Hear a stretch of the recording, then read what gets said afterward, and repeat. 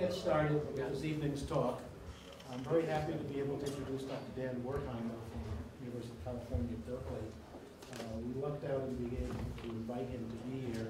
He's one of the principals of a, uh, of a committee called CASPER, which studies uh, and is involved in developing high-performance computing solutions for radio astronomy and and related topics. So he was at a conference at NRAO this past week, and he was gracious enough to come up here and speak to us. Uh, Dr. Werthimer is in the Space Sciences Lab at Berkeley. Uh, He does his work on high-performance computing. He's also the chief scientist of the SETI at Home program, which many of you are familiar with, which is a way for people with spare CPU time to contribute to looking for extraterrestrial signals in waveforms collected by uh, professional radio observatories. So with that, I'll introduce Dr. Werthimer. Hi. Thank you, Alan. Uh, it's great to be here. Thanks, thanks for inviting me. It's a beautiful place, and I hope you get some better weather. Um, so I want to talk to you about this question, are we alone? Is anybody out there? And uh, you probably know it's called SETI. The field is called SETI, which stands for Search for Extraterrestrial Intelligence. And the, I wanted to start with some of the early SETI ideas, uh, and then I'll work up to the stuff that we're doing today. Um, so a couple hundred years ago, uh, the mathematician Carl Gauss suggested that we get in touch with ET by making large geometric structures on Earth. So a big triangle made out of pine trees, maybe three, four, five miles on a side, and a big square of dirt, a big square of wheat, big square of water. And the idea was that ET would look down with their Dobsonian big telescopes and see that we knew about the Pythagorean theorem, and then they'd hopefully get in touch with us. And uh, it was a great idea. Unfortunately, um, not funded.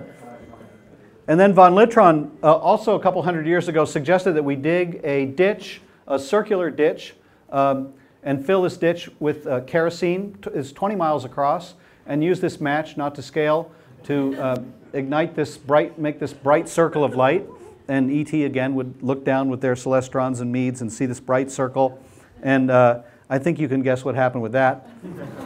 Um, the uh, Charles Cros suggested that we get in touch with the Martians by reflecting sunlight using mirrors, reflecting sunlight to the Martians, and actually several mirrors. One where he lived in Paris, and the others to outline the shape of uh, Ursa Major, the Big Dipper. And um, I think you guess what happened with that.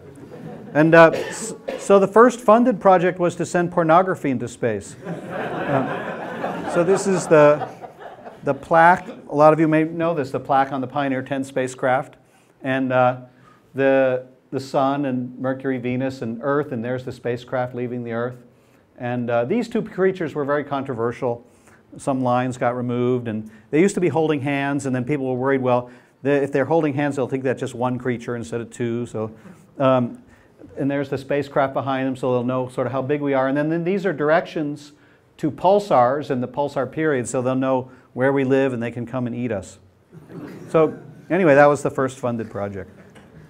So uh, then, there, then there came the theorists. So they said, well, um, instead of looking, you can just calculate the number of civilizations in the galaxy that we could communicate with. It's called the Drake equation, named after Frank Drake. So n here, all you have to do is, to get that number, all you have to do is multiply all these things together. And the problem with this equation is that we don't have any idea what any of these numbers are.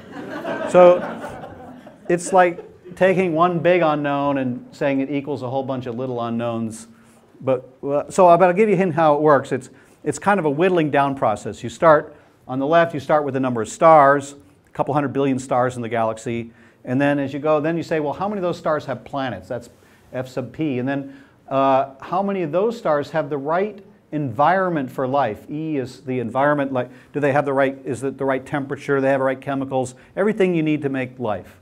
Uh, and then as you go down the line, so now you got first you have a planet. It's the right environment for life. And then once you have this L is how many of those does life actually get started on? Um, so you get the nice planet and you get some algae or some simple cell bacteria or something like that. And that happened pretty quickly on Earth. Just as soon as the Earth cooled down, life popped up. That was four billion years ago. So we think, a lot of people think, not everybody, but a lot of people think that that primitive life, single-celled creatures, um, very primitive life, might happen frequently just because it happened quickly here on Earth. Um, So at, then you get primitive life, that's the L. Then comes the I, that's intelligence. How often, once you get primitive life, how often does it evolve and become intelligence? That's probably pretty rare. It took four billion years to get to us. Uh, it takes a long time, and other, other planets may not have niches where it's good to be smart, you know, it's, it's good to be fast, it's good to have hard shells, it's good, but some ecological niches, it's good to be smart, and that, that may or may not be true on other planets. So um, then uh, once you get intelligence, the next factor is communication technology. Do they, not only are they smart, but do they develop lasers and do they have radio and things we could use to communicate with them? Do they have big dishes like they have at Green Bank? Um, so, you know, whales are smart, dolphins are smart, but they don't build that kind of stuff. So, uh, and then the last factor is how long do they live? L is longevity. So if they, as soon as they develop technology that we could use to communicate with them, lasers and radio, they might also develop nuclear weapons, chemical weapons, and things like that, biological weapons, and they might not last very long. So the Earth is about 5 billion years old. It's going to last another few billion years before the sun kind of heats it all up. So we could last a long time. Some stars are 10 billion years old, and so there may be civilizations that are billions of years older than, than we are. Um, so one of the factors in that equation was how many planets are there? And if you'd asked me 20 years ago, are there planets going around other stars, or any astronomers, we said, well, we think so, but we really don't know. So um, that, as a lot of you know, has all changed in the last 20 years. Uh, the reason it took so long to find planets going around other stars is that planets are really dinky. As you know, a million Earths could fit inside the sun, and the Earth doesn't give off light, it's just reflected light. And so it's like looking for a firefly next to a searchlight. And, you, um, and only in the recent years have we actually been able to image planets. But so the, the first way they were found 20 years ago was that when a planet goes around the star, it pulls on the star a little bit, the gravity from the planet, not much, but the star wiggles a little bit as the planet goes around it. Um, and that, so here you see this unseen planet, but it's pulling on the star, and, and the star, when it moves away from you, it changes colors a little bit. They call the Doppler shift. It gets a little redder, then a little bluer. And if you see a star moving, it doesn't move much. It just kind of moves at walking speed. So that's a very difficult measurement to make. Anyway, they, they found those about 20 years ago. The first planets were detected. And now we think that that there are a trillion planets in the Milky Way galaxy alone. That's more than there are stars. So it looks like most stars have planets, and most stars have multiple planet systems. Um, so this is an example of one of these things that where you see the star wiggling, and you see it kind of wiggling up and down fast, and then you see it wiggling twice. That's why, because there's two planets going around it, right? The slow one and the fast one. Actually, this one has five planets going around it. And there's another way to find it, these planets that you may be familiar with. Is three years ago, this spacecraft called Kepler was launched, and the job of that was to find little dinky planets. And if you're really lucky, the planet occasionally will get in front of the star, and then the starlight will dim down. Doesn't dim down very much, a part in a thousand. So you can't do that experiment uh, from the Earth because the stars are dimming on, twinkling all the time because of the atmosphere. Um, but if you go in space, the stars are rock steady they're, soup, you know, they're always the same brightness. So if you see one dim down, that means there's something in front of it. And so if the planet comes around, then it planet comes around again, that's called an occultation, then you know this, that you found a planet. And, uh, and they found about 3,000 planets so far. Uh, and if you extrapolate, that's how we know. And some of them are pretty small. Earth, they're getting down to these Earth-sized planets. Of course, the first ones they found were big Jupiter-sized kind of things, or even bigger, because those really pull on the star block a lot of light. But now they can see little dinky things like Earth.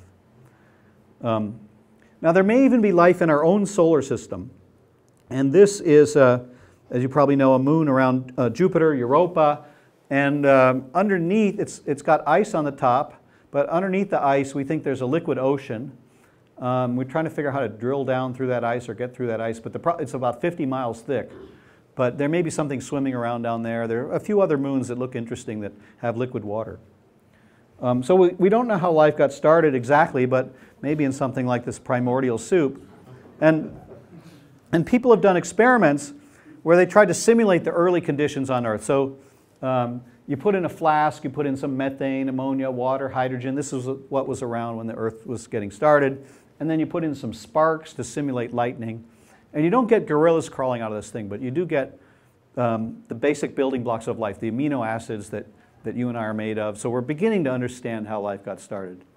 Um, but it's, there's still some unknowns. Some people think it's formed in ice. Some people formed, formed in clay where you have these grooves where you can get molecules kind of lining up for RNA and DNA. Uh, and, the cracks in ice can, but we really don't know. Um, so, oh, by the way, feel free to interrupt with questions and comments. So, if there is life out there, how are we going to get in touch? So, one of the, uh, the ideas that's about more than 100 years old is that the Earth is sending off radio and television out into space. And, uh, and maybe, since we do that, maybe ET does that too. And so this is a plot of television power leaving the Earth as a function of 1940, 1950, 1960. And you can see the Earth is getting brighter. We're growing exponentially brighter. Uh, we, are brighter than the sun right now at television frequencies. So we're pretty easy to detect at television frequencies. We send a lot of radar and navigational beacons. FM radio is pretty strong. Um, and the, um, but you might notice that the Earth is not growing as fast as we used to, and I think that's because we're going to more directed communication. Uh, there's still television transmitters, but there's also now you can get your TV on a cable or it's from satellites and stuff that don't leak a lot of power. Um, and so we're a little worried about that. That means that very advanced civilizations, they may not just blast stuff off into space the way that television transmitters blast into space. But anyway, right now we're very bright. So the idea is that ET might be having have some kind of communication that we could detect, television, radar, um, some, some kind of radio signal that we could detect. Or if we're very lucky, maybe they're even transmitting a signal deliberately toward us because intentional kind of communication. We've sent intentional communications from Earth. This was a message uh, sent in 1974, and uh, it was sent to, I believe, the globular cluster M13. And uh, the, uh, so the, uh, this consists of a sequence of zeros and ones. And if ET's clever, they'll figure out that they should turn these zeros and ones into black and white squares or ultraviolet and infrared squares or whatever their vision is. And then they'll see this image and, and again, here's the solar system with the, with the sun and um, Mercury and Venus and Earth tipped toward this person. And this is the radio telescope, the Arecibo telescope that it was sent in. This is the diameter of the telescope. This is, anybody see what that is? That DNA, right. And these are the amino acids that you and I are made of, and these are some binary numbers. But remember, they have some time to figure that out. Um, so we're looking for both kinds of signals. We're looking for artifacts that just accidentally leave their planet the way that television leaves off our planet. Uh, so I Love Lucy left this planet 50 years ago and has gone past 10,000 stars. The, the nearby stars have seen The Simpsons, yeah. Um, how easy would it be for, uh, how, how far away could a, a planet um, still be able to uh, read our television? Yeah, so we send a variety of things. We, the television is actually pretty weak because it goes off in all directions. So we could detect television if it was on a nearby star with our big telescopes like the one in Green Bank, but we couldn't detect it very far away. But then Earthlings also send off more powerful things. There's these things called the BMEWS radars, the ballistic missile early warning radar systems. During the Cold War, the Russians were interested in missiles coming their way, and the U.S was interested in missiles coming its way, and in Alaska we have these big things, and they, they're a little more focused. They, they, they, they sweep across the sky, so it's a little more intense than just broadcasting every which way. and those, no, you just hear a blip, and then it goes by blip. So you wouldn't, there's not communication there. So they know that we're here, but they wouldn't really know much about us. Um, but they could recognize it kind of artificial. It's not something that looks natural. Um, and then the most powerful thing we send is when we send very directed things like we, that, that message that I showed you. That was sent by a telescope that, in Puerto Rico that's used to bounce signals off planets and study the atmosphere, and that sends out this pencil beam, and it and uh, it's a megawatt transmitter, and that thing could they could hear that on the other side of the galaxy, 100,000 light years uh, away. If they had Arecibo on Earth talking to Arecibo on the other side of the galaxy, they could communicate with each other. Of course, it's kind of you send a message and gets there in 100,000 years, and then they, you know, so it's not, hi, how's your mom? It's, uh, it's more like, here's our Library of Congress, here's all our music, poetry, literature, science, medicine. It goes, that one goes out as a very narrow beam, and that's why it's so intense, and that's why they could receive it on the other side of the galaxy, even with a kind of Earth kind of technology. But then you kind of hope that they're pointing something in our direction. And that would be kind of a more deliberate thing, like they know about us, they've seen smog in our atmosphere, oxygen from photosynthesis, they've been watching, oh, we should talk to those guys. Then they might beam something in our direction. Or maybe they just scatter shot around, just trying to talk to all the nearby stars. How did we choose who to send it to? Where did we send it? Yeah, so these things, the, whether we should transmit or not, is, is controversial. And I actually, and I'm, uh, most SETI people think we should just be listening, just do passive experiments. And we think that advanced civilizations are going to be peaceful. You know, they, they maybe, maybe we're killing each other now, but eventually, if we're going to live for a long time, we're going to have to figure out how to. So we think advanced civilizations are, but that may be naive. So what I think we should do is only just listen for a while and figure out what's out there, if anything, uh, and not do these. Um, so that, those are, that's called passive SETI, just listening, and not do active SETI, which is transmitting out. Um, However, there are a few people that disagree with me, and they do it for kind of for publicity stunts or fundraising or something like that. And there have been messages sent out, and they, the one that I showed you was deliberately sent to something that's I think 10,000 light years away or something. So it's, they're not sending. So if they're going to come eat us, it's going to be a while. Uh, but some people said no, just send it to the nearby guys. So don't hold your breath. Um, so, uh, okay, so I'm not the first guy to come up with this idea that we should look for radio signals.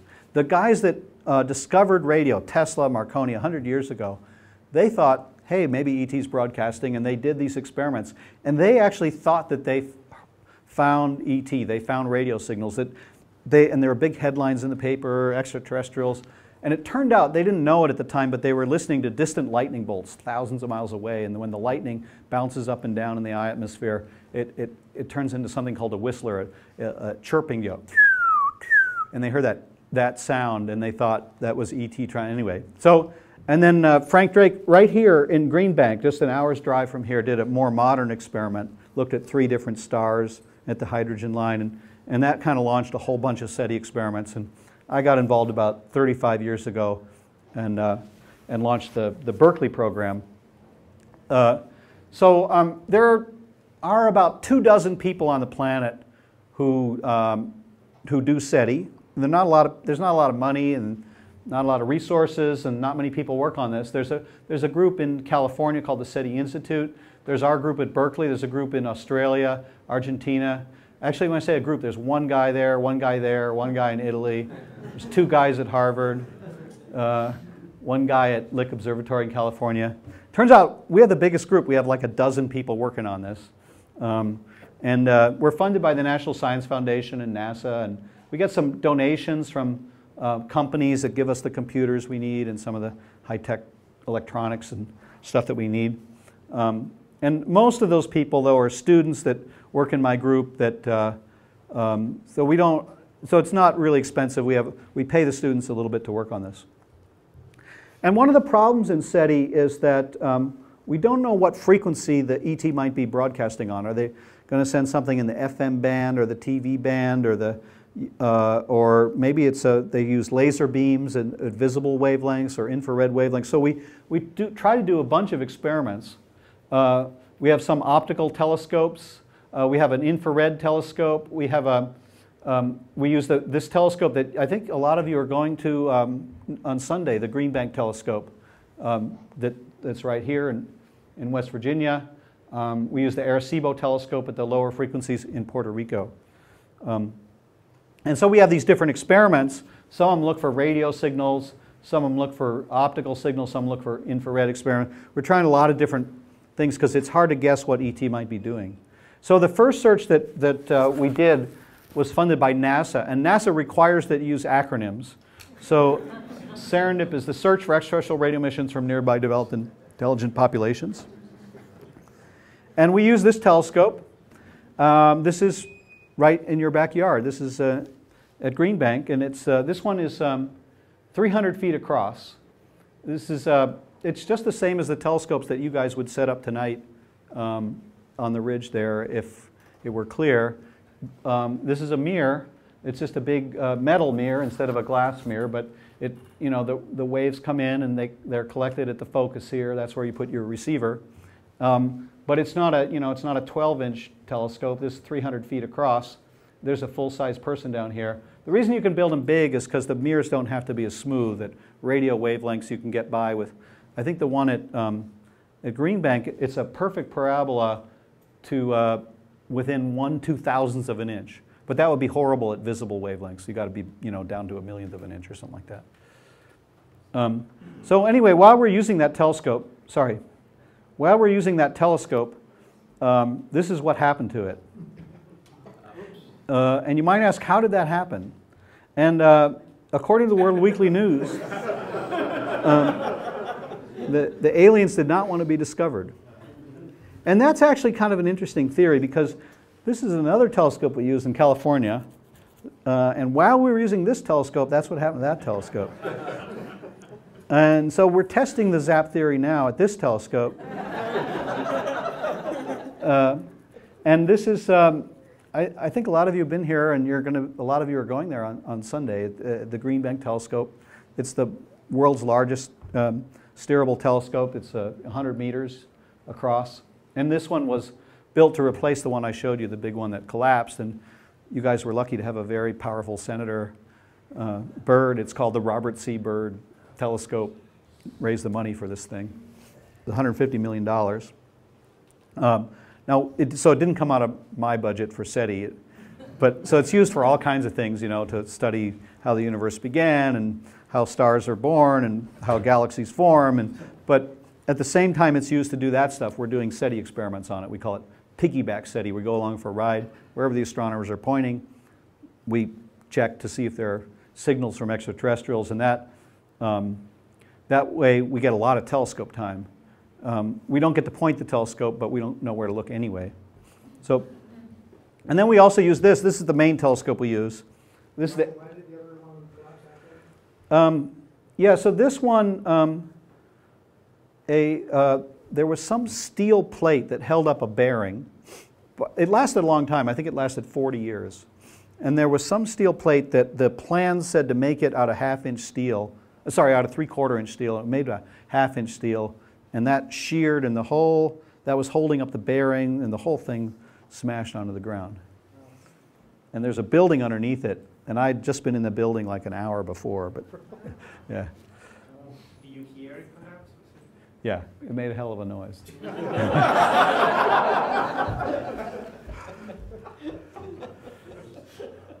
um, the, um, so anyway, this is the world's largest radio telescope in, in Puerto Rico. It's a thousand feet across. Um, so it's, uh, this thing holds 10 billion bowls of cornflakes. And it, it's, it's the same idea that this is the aluminum mirror that reflects the radio waves up to the top. And then, but the, this one, you can't steer it at all, like the Green Bank telescope. So the way you move, you, this dish is fixed in the ground. You might have seen it in uh, James Bond GoldenEye, but in, in, the, in the GoldenEye, it comes up out of the water. It doesn't really do that. Um, but it was also in the movie Contact, which was a book written by Carl Sagan, who worked with us um, when he was alive and knew a lot about SETI. So the movie Contact is more accurate than GoldenEye. And um, the, uh, anyway, so the, the radio waves bounce off this dish, and, and the receiver up here that's inside this dome, there's actually a secondary and a tertiary mirror. Um, it's called a Gregorian optical system. Anyway, the receiver's up there. So the way this thing, you point it, is you can move this receiver along this track, and then the whole thing swings around in this azimuth arm. It's kind of Dobsonian-like. It's got an azimuth elevation kind of mount. Um, and uh, and you can cover about a third of the sky with this telescope um, by waiting for the Earth to rotate and moving this receiver around. Um, but there's a lot of stuff that we want to look at in SETI that Arecibo can't see. In particular, remember I showed you the, that Kepler spacecraft that's looking at all the planets that they found, 3,000 planets. That thing is at about 60 degrees declination. All those planets are right 60 degrees dec, and Arecibo can't, can't see those planets. So we, we need to uh, we use the Green Bank telescope for that. And we have a, a, a, cryogenic receiver at the focus there that looks at seven places at a time. And the, one of the early ideas in SETI, that what we went after was just finding some strong frequency at some, uh, some strong signal at some frequency. And the problem is you don't know what frequency, what channel they'd be broadcasting on. So we built these multi-channel spectrum analyzers, we call them. Um, and uh, so here's channel number 2,264,181. Here's channel number 2,264,959. And here's a strong signal at one of those channels. That's the kind of thing that we were looking for. And I wish I could tell you it was ET, but it was just a satellite going over Arecibo. Um, it's, it's very similar to just kind of tuning your radio dial, looking at the signal strength meter. You tune it across, and all of a sudden, you see the signal strength meter up. That's what go up. That's what gets our attention. But it, it's a little different than that because when you're tuning, you're kind of looking at one channel at a time. And we would build these things that would look at all the billions of channels at a time. But it's the same idea. Um, so this is another kind of thing that we want to look for. Instead of something staying at a fixed frequency, we're looking for signals that might change in frequency. So here's one that's going down in frequency, and these ones are going up in frequency. And that might happen because the transmitter is probably on a spinning planet, and that's, that acceleration as it goes around introduces the Doppler shift. And we don't know how fast their planets are spinning, and, and so we have to look for these kind of chirping signals. And that's a little harder to do with a computer. Your eyes can see this pretty well. I think you can all see these lines. But we have about 100 million of these things to look at every second. And uh, so it take a lot of eyeballs. And then we, we also wanted to look for pulsing signals, a bip, bip, bip, bip. And uh, that's harder to see with your eye, so I've circled them here. Um, and, uh, and so we want to do that, and we have about 100 million of these things to look at every second. So it's a lot of, lot of sort of computing or eyeballs that we need to kind of go through our data. So what we did is we, we, um, we stored the data. We take the data at Arecibo or at Green Bank, and we store it on this big supercomputing center. We have about a petabyte of data, huge amount of data. These are robotic things that store this data for us on these thousands and thousands of disk drives. And then what we did is we asked the public for help analyzing the data. Um, so we couldn't possibly analyze it ourselves with our computers at, at the university. So what we did is um, we built this little screensaver program called SETI at Home. Uh, how many of you are actually running SETI at Home? Do you guys know about this? Oh, okay, a fair amount of you already know all, everything I'm going to say. But anyway, for the uninitiated, um, what you do, there's a little program that you can download on your home computer or at the office or at school. It's called the SETI Home Screensaver. And what we do is we take the data from Arecibo or Green Bank here, and we break the data up into little pieces. Everybody gets 107 seconds of data. So you'll get one piece of the sky, you'll get a different part of the sky. And when you, when you install the screensaver, you'll you'll also get be assigned one of these pieces of data from a, one, some chunk of the sky. And you'll have to go through that, your computer goes through that looking for all the different possible radio frequencies and signal types and those pulses and drifting signals. There's a lot of things it's looking for. Right now it's looking for one of these Gaussian things um, that's shown. Well, as you go over a, a, a star or a planet, you'd expect it to get stronger and then weaker, and it would trace out this bell-shaped curve, and we look for that kind of thing. And then also on the screen, it reminds you what your name is and how much work you've donated to the project. And what this is the right ascension declination, you know, where, what part of the sky you're looking at, and when it was recorded, and what frequency you're looking at. And then, um, and uh, it, let's see if I got, I have, this is what it looks like when it's actually running on, on your computer. Um, and uh, then after a few days, it finishes analyzing that part of the it depends on how long you leave your computer on and how often you go out for a cup of coffee. But anyway, after a few days it finishes, and then it, it's not supposed to stop like that. But um, the, um, then it'll send the results, any strong signals that it found, back to our server in Berkeley. Uh, and then you get a new piece of data to work on from a different part of the sky. And you just keep doing that until you find ET. And, uh, and the, you get the Nobel Prize. Your name is attached to all the pieces of the sky that you've analyzed. And um, and if you're a lucky one that finds that faint murmur from a distant civilization, you get the Nobel Prize. But there's a catch. So the catch is that there are 8 million people who have downloaded the SETI Home Screensaver. Nobel Prize is about a million and a half dollars. So that comes out to, I don't know, about 20 cents a person. So you're not going to get, you're not going to get rich. Um, but it's a, kind of a fun thing to do. You might get famous. So uh, it, it, turned out SETI Home uh, is the it was the biggest supercomputer on the planet, thanks to all the volunteers. It still is, if you, but we've changed it a little bit so you can do other science. And that the volunteers, um, have donated so far about 3 million years of computing time. They donate 1,000 years a day. It means if we just had one computer, it would take a, a thousand years to do what the volunteers do for us in one day. Um, and uh, it's the biggest computation that's ever been done on this planet, anyway.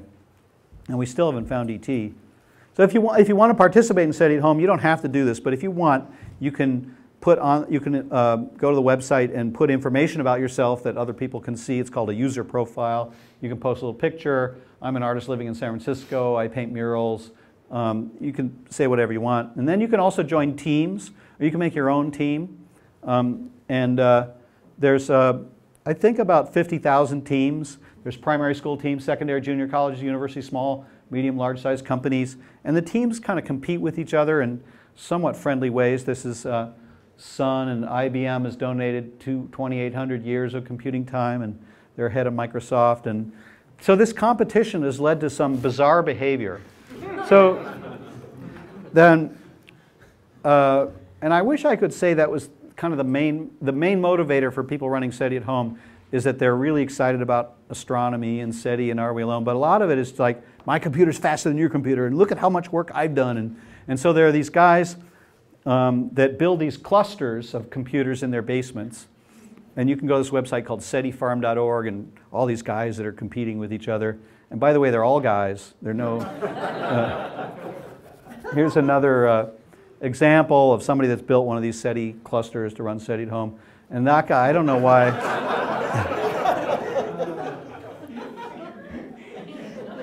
if, if you know why he's carrying those bolt cutters, please see me after. I'm curious. And so here's another funny thing that happened. This guy, uh, you can buy these work units on eBay. Um, if you want to get look at like you've done a lot of work and you haven't done a lot of work for SETI at Home, you can. This guy will. Uh, he's auctioning off 7,000 work units, and if you win this auction, he will transfer his credits over to your account, so look like you've done a huge amount of work. He wants to do it so he can break his habit. Right. Uh, yeah. Uh, a unique chance to join the elite top 0.18% of SETI users. Uh, and uh, I'm auctioning off my SETI units in hope of breaking my SETI at home habit. yeah. So maybe I should warn you guys. So one of the things that we're really, we haven't found ET, but one of the things we're very happy about is that there are a lot of kids running SETI at home, and we've developed this curriculum um, for kids that um, so, sorry, everything okay? Yeah, the cable, the video cable is Oh. Okay. So, um, this question, "Are we alone?" is kind of a fun question for kids. Everybody, all kids are excited about ET, and that if they get in, interested in this question, it touches on a lot of areas of science, not just astronomy, but you can learn some physics. You can learn about biology and evolution and chemistry, and you can learn about computing. And uh, so, it, we developed some curriculum with the Lawrence Hall of Science, and it's used by a lot of teachers all over the world um, to get kids interested in science as they run the SETI at Home screensaver, and we have some curriculum about Are We Alone? So this is what comes out of the, the, uh, the all that, the, um, when people send us their results, then we have to go through it, look what, what's really interesting. We make a list of the things that were really exciting. So this is one of the things that we were excited about, is that um, uh, this is a little map of the sky, declination, right ascension, and here's a little piece of the sky. The telescope went through it three times on three different days, and every time we saw the same kind of signal at the same frequency, one of these Gaussian things at the same place in the sky. And we said, wow, it's always there. Um, if we just see one, if we just see it once, it might be a satellite or a thing, um, some kind of interference. Radio interference is getting worse and worse on this planet. Um, and even though we're in this radio quiet zone, this is the best place to put a radio telescope in the continental U.S. Um, um, you know, nobody's allowed to have transmitters, I think, way all far away from Green Bank. So it's a good place. But it, there's still a lot of interference, and it's getting harder and harder to do these SETI experiments uh, on the planet. We're working on a telescope in the desert in South Africa um, because it's uh, 120 degrees and there's no water and nobody lives there and there are not that many transmitters. But eventually the Earth is going to be filled with radio transmitters and, and uh, we'll have to go to the backside of the moon or something to be, and that'll, co- that'll cost a zillion dollars and America's broke. So this may be a kind of unique window in Earthling's history where we kind of have the technology to do these SETI experiments, but we're not totally polluted all the radio bands. Anyway, this kind of thing that we end up with is kind of list of these candidates, and then we go back to the telescope and check them out. But so far, um, none of the candidates have, uh, have uh, turned out to have anything interesting. Um, but I think we got a long way to go. We're just learning how to do this. So this SETI at Home uh, project uh, led to this kind of more general purpose public participation scientific computing. We call it distributed computing um, or edge resource aggregation when you ask volunteers, citizen science. And we wrote this code that was a little more general so that people could um, participate in lots of projects with their home computer. And uh, there's now like 100 different things of people using this software. By the way, all the code that we write is open source and um, it's written by volunteers. Yeah. Um, When you were putting up the example of, you know, that's kind of what you all look for, that Gaussian. Yeah, the Gaussians, yeah. So based on my extensive watching of Community Contact, Uh-huh. um, uh, when you do something like this, how do you determine whether it is something or not? Yeah. So the main way you go there, you go back and you look again. And you check, and so you, you then you need dedicated telescope time. You can't go just kind of wait until they go back there. But if you're really anxious, you, you, you write a proposal and they say, oh, okay, it's pretty cool. We'll let these guys have a little time. It's free to get on telescope. Anybody can write a proposal. It's funded by the National Science Foundation, Arecibo, and then and uh, Green Bank.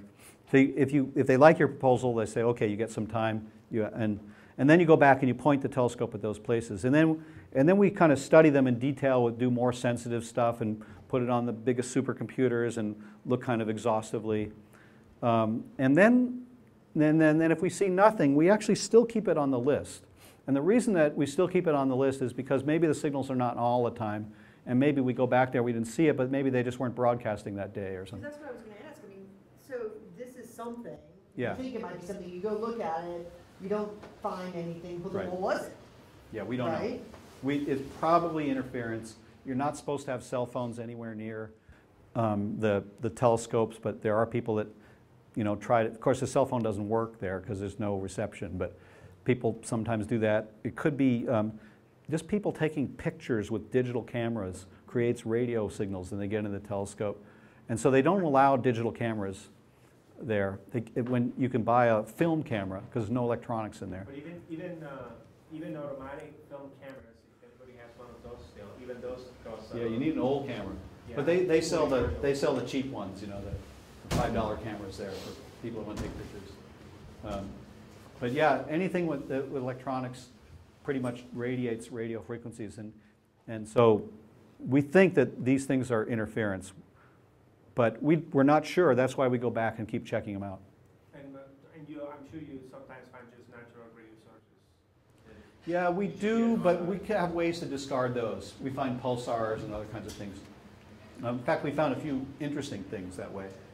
Um, But so far, we haven't had a confusion between natural radio sources and extraterrestrial radio sources, uh, technology.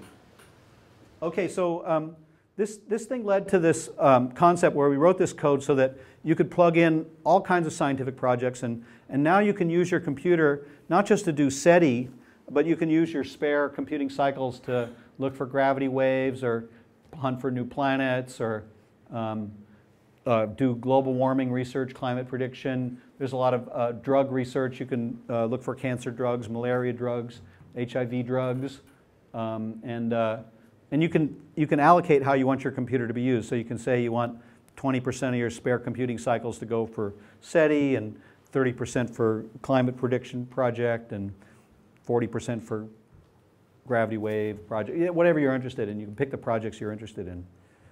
This is a protein folding project, a biology project. The idea is that there's a lot of computing power out there, and, and, and now there's a billion machines on the internet. So almost all the computing power is actually in little machines that you and I own at home or at the office. And so you can build big supercomputers out of that stuff. So that led to this thing called thinking at home, to ask people to do things that computers are not good at, um, where you need uh, eye, like pattern recognition, things that your eyes are, can pick up, we, the things that computers are not good at. And our first project was we sent this spacecraft out past Jupiter called Stardust, and its job was to collect the dust particles that were around in, in between the planets that are, were around at the beginning of the solar system. We wanted to find out how the planets were forming and what the dust, the early dust particles were made of. And there, the planets formed, but there's still some dust left over. They formed out of this dust, but there's still dust in between the planets. So we went out past Jupiter and we scooped up this dust. And uh, it was, um, we scooped it up with this foam called aerogel, and we just flew through there, and the little particles of dust get stuck in the foam. They're traveling very fast at twice the speed of a bullet. They get buried in the foam somewhere. And then we brought that foam back to Berkeley, and then we, uh, we had to go look in that aerogel to see if we could find any little primordial dust particles. And then we wanted to figure out how they, what they were made of. And the problem is there are little microscopic particles that are in there somewhere. So we thought at first we would, to find these little microscopic particles, we'd need about a thousand students looking through a microscope for a couple years, scanning the dust. And what we did instead was we just took millions of photographs of the, of the, with, a, with an automated microscope that would look at all the different places in the dust and look at different depths. And, and then we sent that out to volunteers, and we call it the Stardust at Home project. Um, and uh, that what the volunteers did was they, they you, you can run this program. We got about, I think, 40,000 volunteers. You can get little training. What does the dust particle look like? What does a false alarm look like? And then you, you start looking at, you, you have a kind of run a virtual microscope. And then we found dust particles that the students would have missed, that we, little tiny ones that turned out to be um, very interesting. And we're beginning to learn about sort of how the planets formed out of this dust and what the dust is made of uh, thanks to those volunteers. And that led to a whole bunch of citizen science projects. Um, our first one was Stardust, but now there's a, a, lot of these projects. Not all of them use the, our code, but some of them do. Uh, oh, I want to tell you a little bit about other SETI searches that we're doing. I, I mentioned that we, most of what we do is look for radio signals, but we also do optical, uh, you know, visible wavelength searches. Um, this one is uh, looking for pulsed laser beams. Uh, just a bright flash. It turns out you can make a laser here on Earth that's brighter than the sun, but it's only brighter than the sun for a nanosecond, you know, a billionth of a second. And we can outshine the sun if, for a bright, for, um, so we, that would be pretty easy to detect. It just, um, we can use a small telescope. This is uh, 0.8 meters, you know, 30 inches across. That's right near Berkeley in California. And we point, and uh, we're looking for these laser flashes. We're also doing an experiment like that at uh, Lick Observatory in California. And this is uh, me and Frank Drake and my student Shelley and Rem Stone, who's the head of the observatory. And this is a, this is a 40-inch telescope. And this is our uh, SETI equipment down here that looks for these pulses. And then we're, we've also got an experiment on the Keck telescope um, uh, at, uh, in Hawaii. These are two 10-meter um, dish mirrors. They're actually not single mirrors 10 meters across. Um, they're made out of, I think, 192 different mirrors all stuck together. Um, we're also working on trying to figure out how to build the next generation of radio telescopes. So this big dish that you've seen or you will see on Sunday, um, it's really expensive to make those things, these giant telescopes. So we're trying to figure out how to make telescopes out of lots and lots of little telescopes. And the reason these things are cheap, you, you can see this one being kind of stamped out here in a, in a mold. And, um, and then you can put these things together in an array of, of lots of little telescopes, and that's a lot cheaper than building a giant telescope. And that's what the meeting was about this week. That's why I'm here in Virginia, is we're trying to figure out how to build these next generation of, of radio telescopes, making them out of lots and lots of little telescopes. And the problem with that has traditionally been that you need, you have to connect all these signals together from all these little telescopes, and and that takes a lot of computing power and, and that's been expensive, but now computing power is getting really cheap and it's actually cheaper. So we think we know how to do it and we're beginning to do that and that's leading to this thing called the square kilometer array, which is a 4,000 dishes and it'll be built in uh, South Africa in the desert that I was talking about where it's very quiet. No, nobody likes to live there because there's no water and it's really hot. Um, but there are, anyway, so that's a big international project, and we've built seven telescopes there right now. We're scaling it up to 64, these early prototypes, and, and then after 64, we'll build another thing that's maybe a couple hundred telescopes. And then we hope, if um, this is not just for SETI, this is a big expensive thing for the astronomy community, but if the astronomy community builds it and the physics community builds it, then we'll, we'll go there. So this is a kind of summary of our data. If you've been asleep, this is the kind of quick summary. 30 trillion fruitless tries, if we count all the channels and frequencies and signal types. But scientists keep searching for ET. Actually, now we're up to a million trillion fruitless tries. So we haven't found ET, but I'm, I'm actually optimistic that if there are radio signals out there, I think eventually Earthlings will be able to find them. And the, the reason I'm optimistic is because I think we we're just scratching the surface. We're just learning how to do this. We're an emerging civilization. We've only had radio 100 years. Computers have only been around a few decades. And um, if you look at all the searches that our group has done and other groups have done, um, this is a, a plot of all these different SETI searches. And I, even though I'm really proud, this is um, how much of the sky they've covered, how much of the frequency band they've covered, how sensitive they are. But what I want you to notice here is that there's a lot of things that, that um, nobody's looking at. So this is frequency out here. And if ET's broadcasting at this frequency, we haven't done any searching at that frequency. We've only searched down here. So if radio signals could be coming right through the roof of this yurt, uh, if they were out at 10 gigahertz, we'd miss them. So we have a lot more to do before we can say we're doing thorough, thorough searches. I think we call it the cosmic haystack, like looking for a needle in a haystack. There's a lot of, lot of parameters. You know about the cosmic haystack. So the cosmic haystack. In a, in a science show. Oh, okay, cool. So the, this, this cosmic haystack is, we, I think we've covered like about a billionth of it, a little tiny piece, looking for this needle. If you think of all the possible stars that you'd have to look at and all the different frequencies and signal types. So, You said that our, that we think the populations that we'd be looking at might be a billion years ahead of us. Can you look at our development and our history and say where we're gonna be in a billion years? and- and Yeah. expect to s- and think Well, where we might it's hard for me to predict where we're going to be next year, but I can, I can, uh, I, I have a slide about that actually. Okay. So when, when I started doing this, we listened to 100 channels at once in, in the 70s. And, and the, remember I said that one of the problems is we don't know what channel to listen to. So the more channels you can listen to, the better. So we thought, I thought that was great. I was like, it was the best SETI experiment ever. Everybody was really excited about what we did. And then uh, in the 80s, we built a thing that could listen to 65,000 channels. And then in the 90s, we built a thing that could listen to 4 million channels. And then we built a thing, and now we're listening to 5 billion channels at once. And it's not because I'm just smarter, it's, it's because the computing power is growing exponentially, and we're just taking advantage of the billions of dollars that go into Silicon Valley and all that money pouring in there. To, and we just go along for the ride, riding the Moore's Law curve.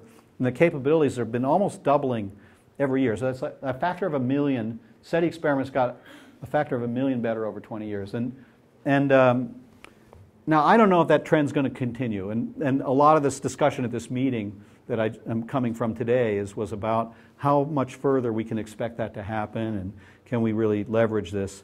This is a plot of computing power as a function of time Nin- uh, from 1900, to- here's 2000. And right now, computers are about as smart as a guppy or maybe a lizard. Now, if this trend continues, the capabilities are doubling every 18 months.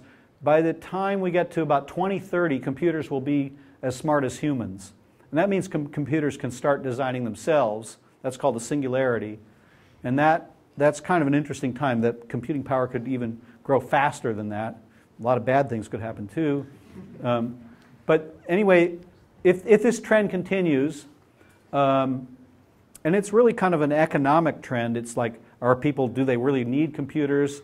And it's driven a lot by the gaming industry. It's driven by, you know, nerds playing games and they're, uh, that, um, you know, all night. But anyway, they're the people that want a lot of computing power. But as long as that money flows into Silicon Valley or into China or something like that, I think it'll continue for a while. Um, but I can't, I can maybe extrapolate to 2030, but I'm not, you asked about a billion years from now. I'm, uh, I was thinking more about the, the frequency bands that we utilize now. Yeah. You know, where, where's our technology heading in terms of us being able to? Yeah, we're moving to higher and higher frequencies because they go to higher, more bits per second you can get on at higher frequencies.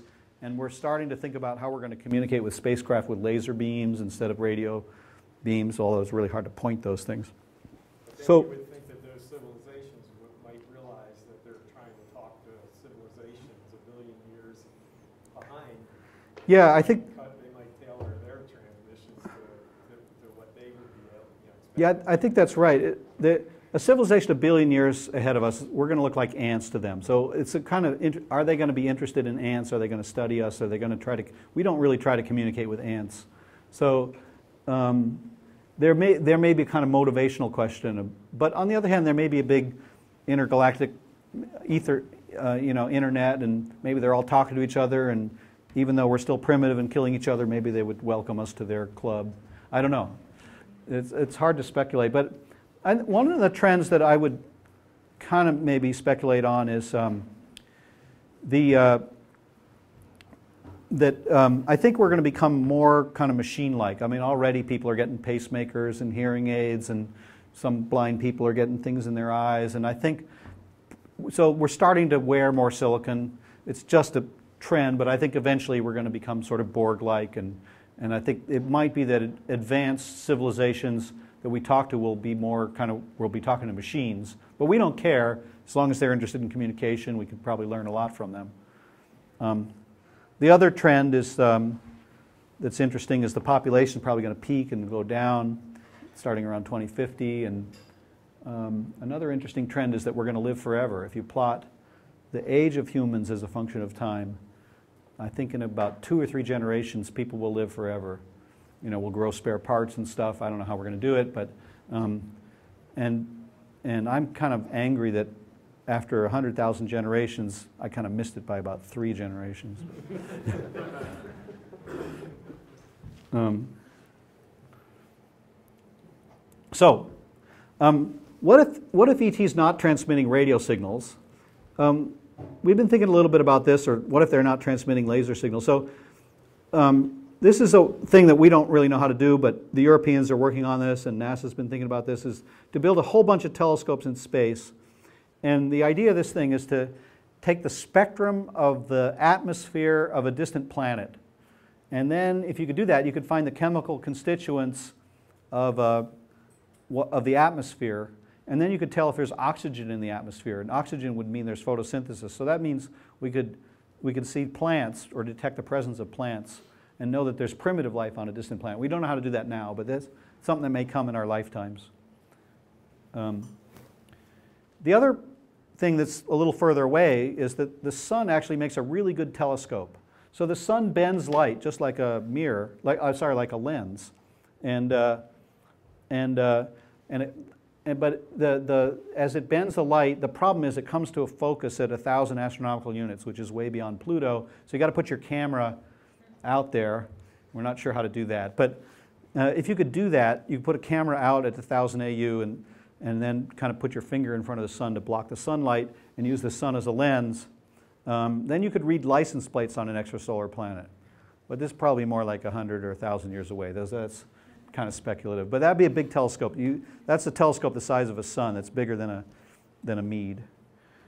So here's a summary. Uh, no ET so far. Uh, still working on it. Um, so that's kind of the main slide that you need to kind of take away from this talk. Um, if you want to learn more, there's, go to this website, or this also this website is a good place to download the SETI at Home screensaver. And I, the people that are here, here running it, we really appreciate it. We couldn't have done this work without you.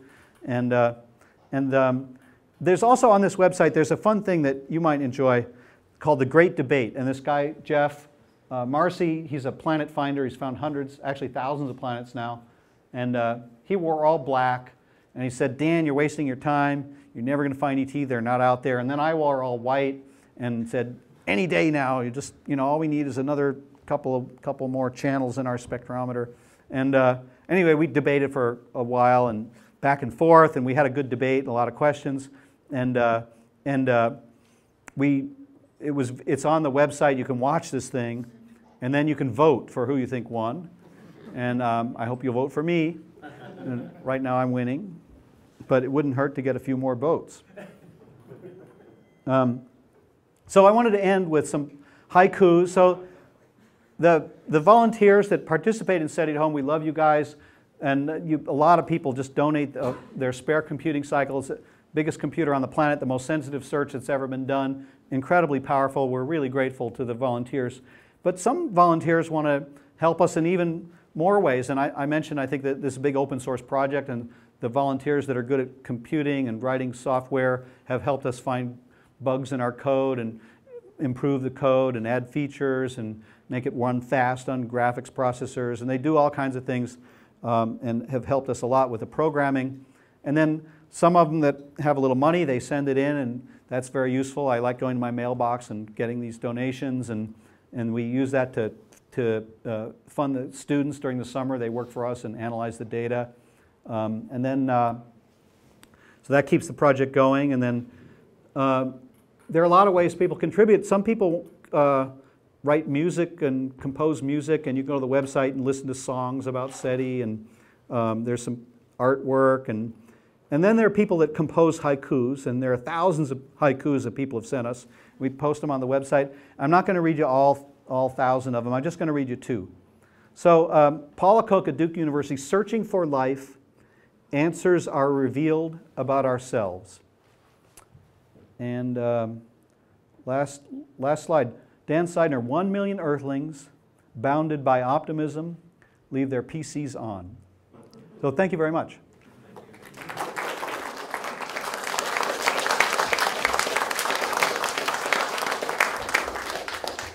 So I think, Alan, we have time for questions? Anybody have any More questions? We've got some time.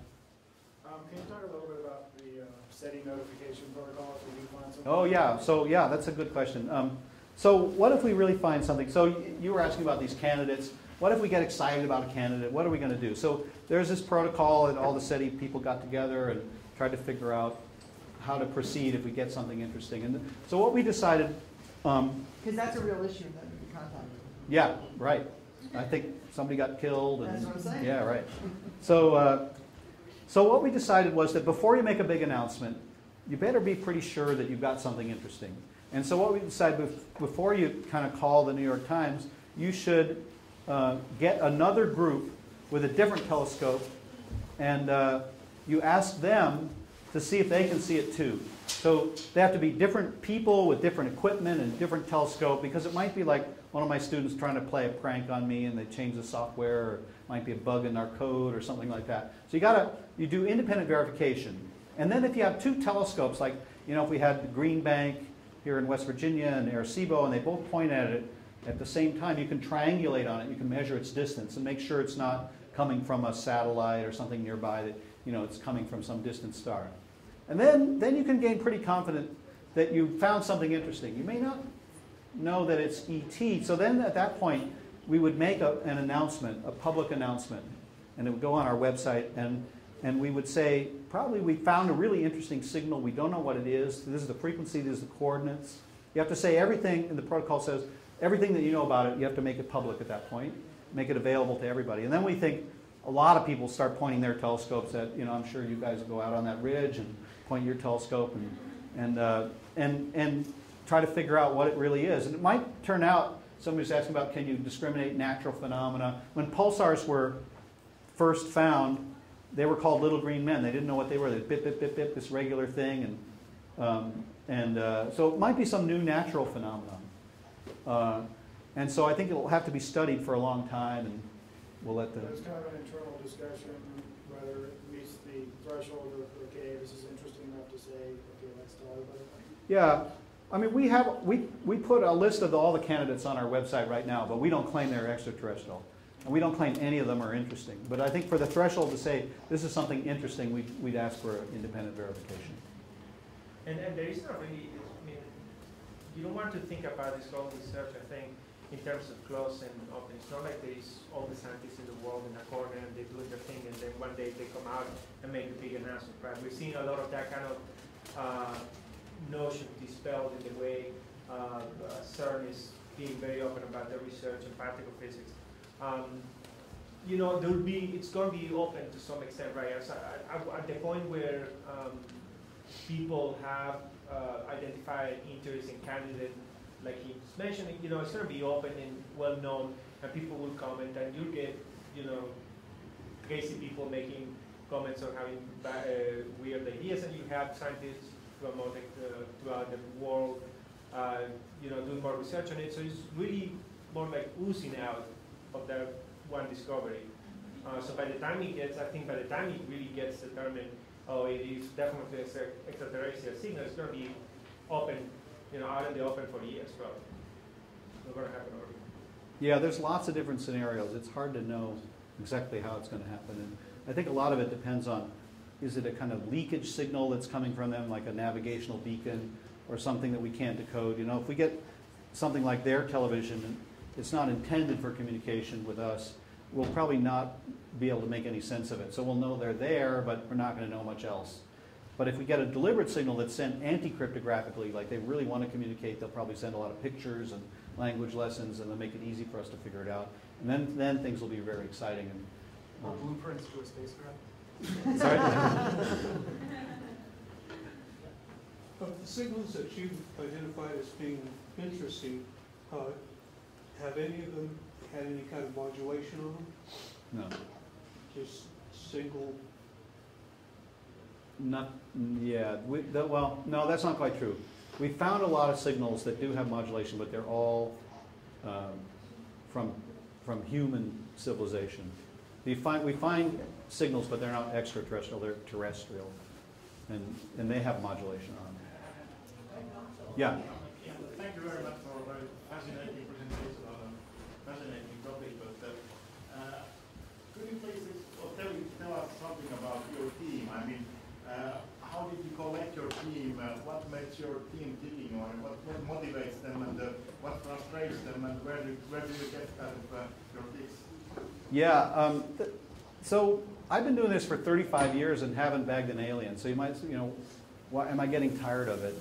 But actually, I'm, I really enjoy this work. You know, it's a really important question. Are we alone? Is anybody out there?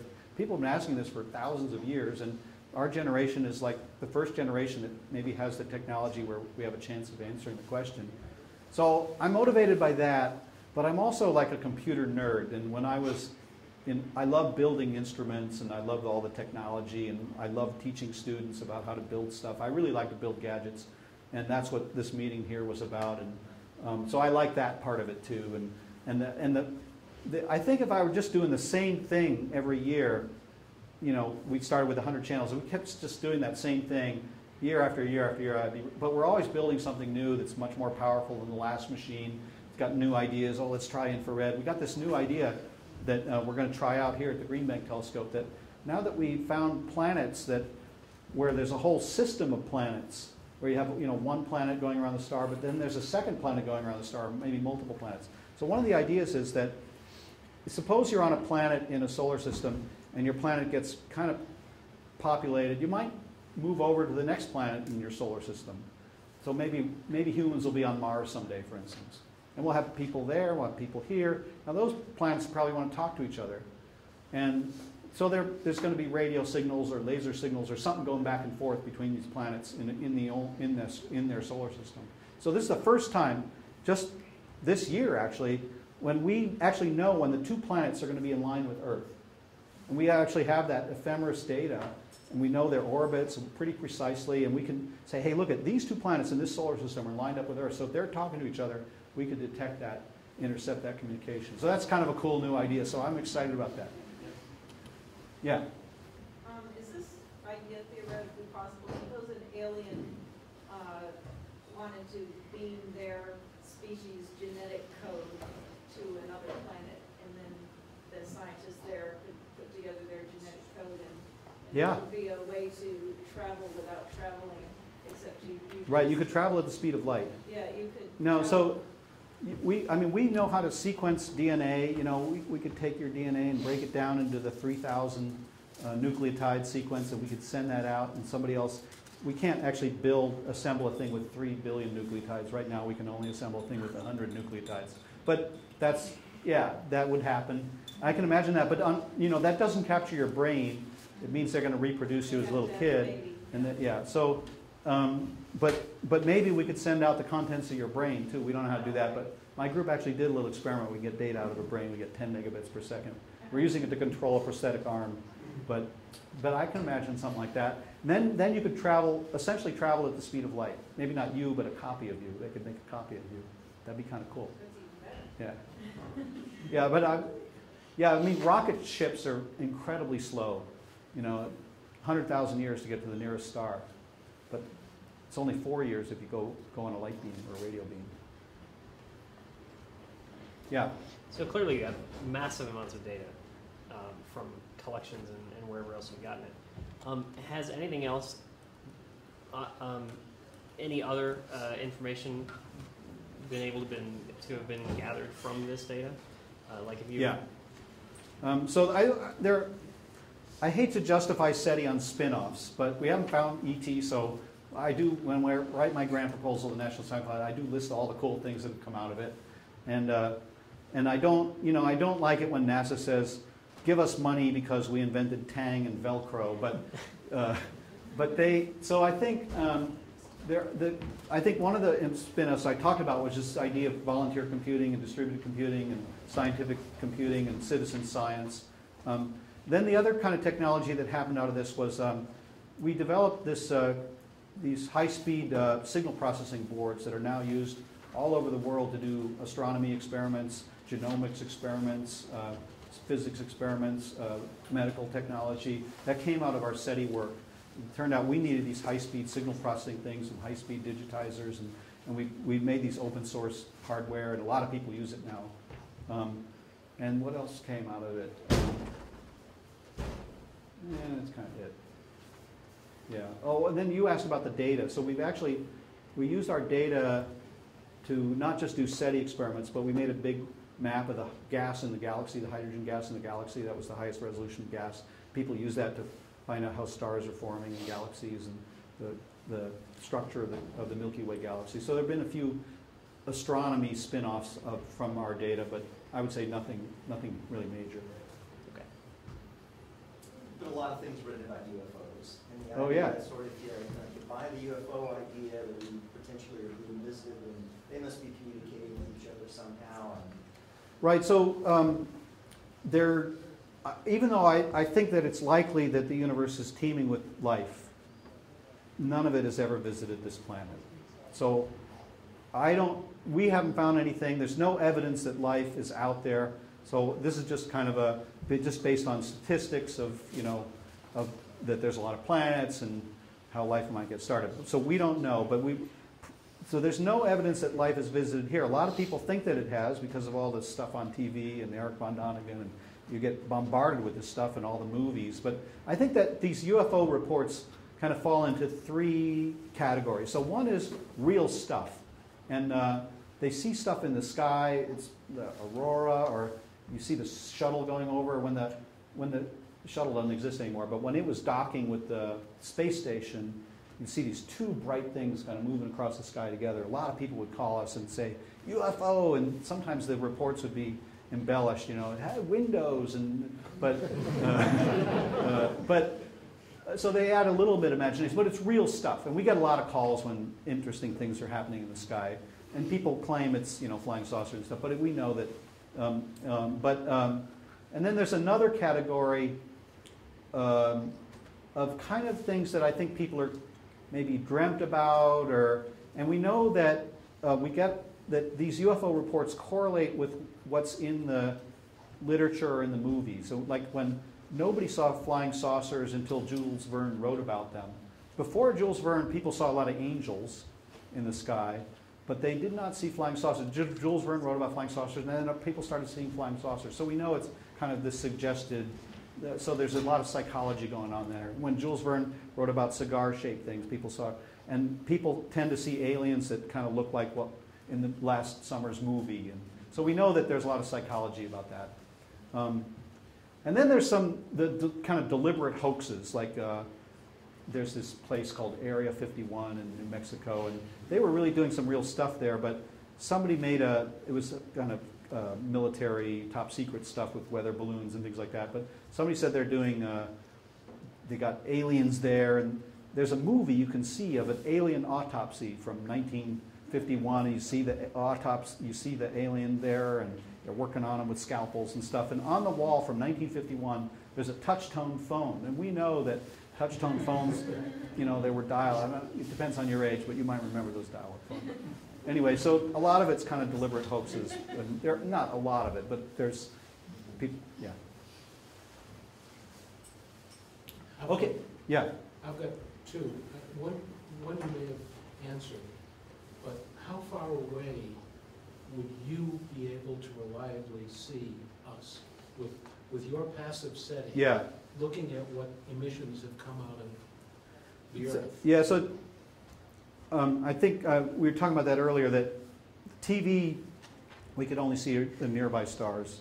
Unless we, we could see TV further, but we'd have to kind of know that that star was really interesting and, had, and we could stare at it for a really long time and do deep integrations and stuff like that, then we could go further. But the normal kind of raster scanning that we do of the sky, we'd be kind of lucky to find TV. But then the, these ballistic missile early warning radar systems, we could see much further, and then the, the really powerful beams we could see on the other side of the galaxy. But, but part of it, would you even be looking in those frequencies and with enough staring? Probably not. Any kind of. No, I think if there's TV out there, we would miss it. If there are ballistic missile early warning radar systems on the nearby planets, we might get them. The other question is sort of geeky, and that is. But I just, just one little more on that is that I, think it would be very hard to find uh, civilizations that are just at our level, that just discovered radio. You know, we just found it in a blink just 100 years ago in our four billion year history of life. I think if we ever find ET, the most likely civilization will be more advanced than we are, a billion years ahead of us or two billion years ahead of us. In which case, they might have much more powerful transmitters. Um, The other question sort of relates to that a little bit. I guess for like the past twenty years, people have been sending more and more signals with coding theory Yeah, and almost intentionally trying to make the signals yeah, that's a look problem. like noise. Yeah. Because it turns out to be efficient. Yeah, so you, there's a question about this spread spectrum communication. So it used to be the Earth was very easy to detect because, um, I know you understand this, but just um, that they, we transmitted these TV signals. If you looked at them, you see this big spike sticking way up and it was like easy. And now TV signals are kind of spread over the band and they look much more noise-like. And so if they're doing that, um, it's going to be much harder to detect them. Yeah. Yeah. What type of uh, signal-to-noise ratio do you look for, and, you know, that you would classify as an interesting? signal? 20 times the noise. If it, if it sticks out 20 times above the noise, it goes into our database. Doesn't mean we call it the New York Times, but it goes into our database. We have about a billion of those in our database. Okay, so I, I'm happy to chat more, just maybe one-on-one, but maybe we should call the formal part of it off. But if you have any more questions or comments, I've enjoyed talking to you, and thanks so much, and I hope you get some clear weather.